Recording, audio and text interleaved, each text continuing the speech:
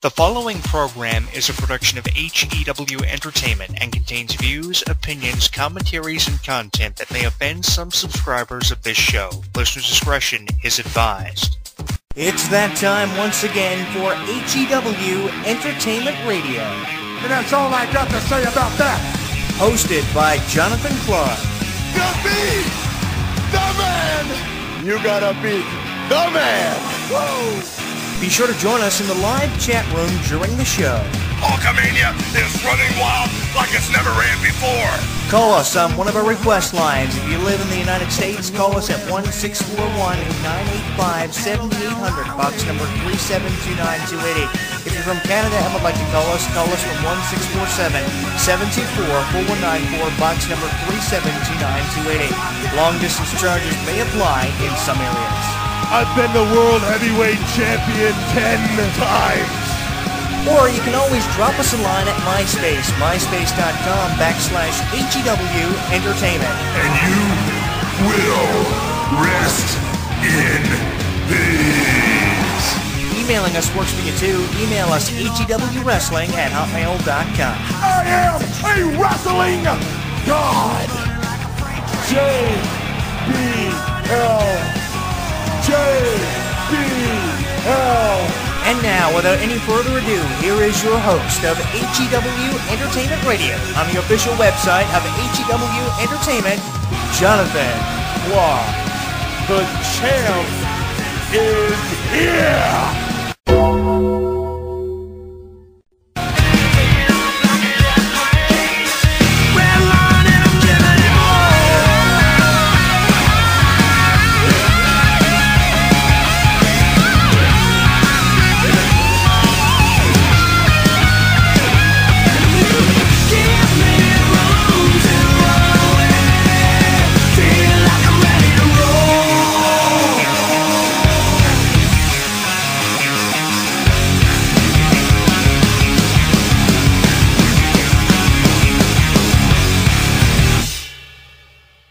Now streaming live on YouTube, Twitter, and Facebook. Streaming live on YouTube, Twitter, and Facebook. HW Entertainment Radio is inviting you to comment on our video blogs, join the conversation, and like us. Comment on our video blogs, join the conversation, and like us. So what are you waiting for? Log on and listen now.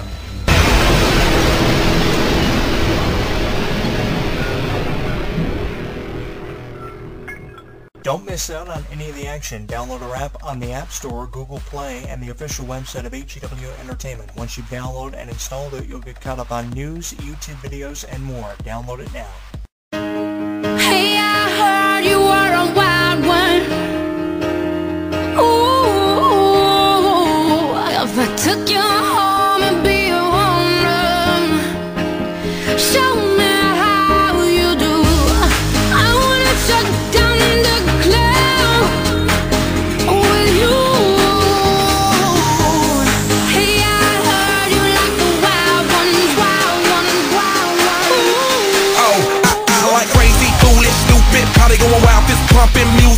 Might lose it, glass to the roof, how, how we lose it, lose it, lose it. I don't care tonight, she don't care, we like almost there, the right vibe, ready to get live. Ain't no surprise, take me so high, jumping those dives, surfing the crowd. Ooh, said I gotta be the man, I'm the head of my band, mic check one, two. Shut them down in the club where the Playboy does, till they all get loose, loose, out the bottle. We all get fit in again tomorrow. Gotta break rules, cause that's the motto. Club shut down, a hundred supermodels. Hey,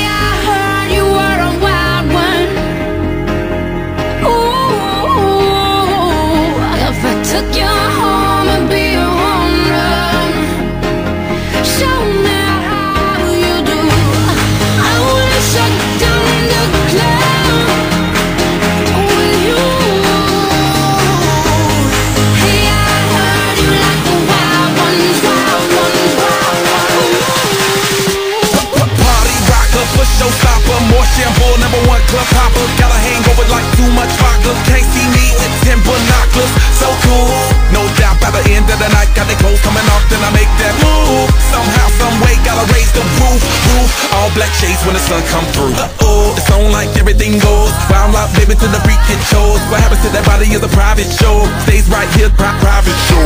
I like a mundane, don't talk that high pain. Tolerance bottoms up when it's champagne. to life, come Muhammad, then we hit fame. Too easy with you, Dale, we get insane. Hey,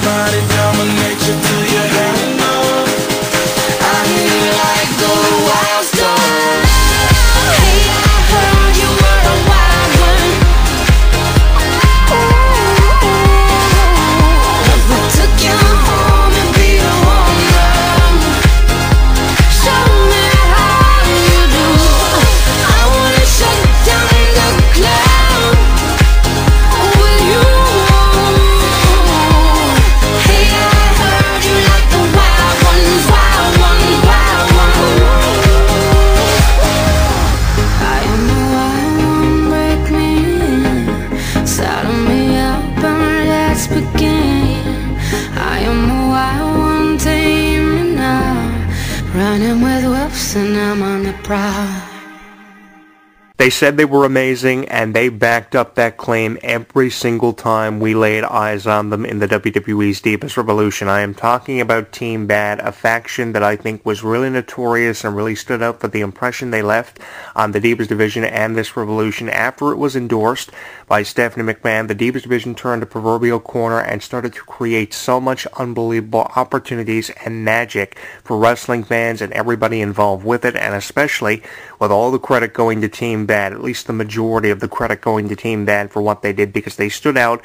Uh, they were really underdogs in the whole Divas Revolution because everybody was talking about Team PCB, either them or Team Bella, Alicia Fox and the Bella Twins, and of course Team PCB, Charlotte, Paige, and Becky Lynch, and then obviously Team Bad uh, was feeling a little undershadowed, but it was because of people like Sasha Banks that Team Bad really left an everlasting impression that will never be forgotten undoubtedly, which is why I am really excited after having been a fan of Sasha Banks for what feels like forever to see what the future has in store for Sasha Banks. If you want to talk about one breakout star from Team Bad, it is obviously her because she's got a Divas Championship opportunity coming up at WrestleMania. Whatever the Divas main event for WrestleMania surrounds itself around, obviously Sasha Banks is going to be one of the odds-on favorites to emerge victorious about whatever the Divas division surrounds itself around for WrestleMania to come away from that match as the champion. And she's going to have one of those long reigns as Divas champion because the boss is obviously back in WWE and obviously being endorsed by Triple H and Stephanie because they too